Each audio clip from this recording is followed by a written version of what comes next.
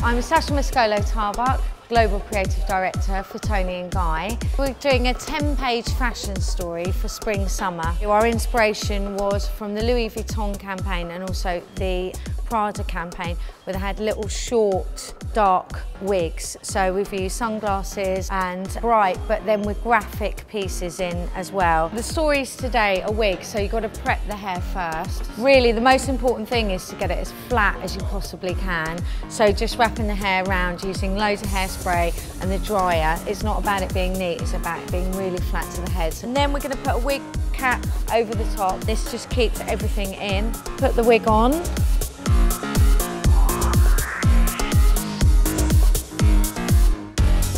Our model's just had her makeup done.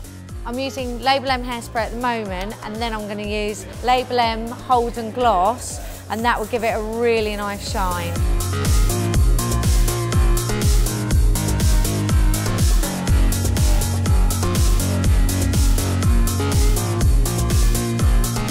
Worked with myself, Cos and Jose and Jose is the winner of our Image of the Year competition. My name is Jose Boix, I am the owner of Toni & Guy Spain and we are here today shooting for the Spring Summer campaign for the Toni & Guy magazine.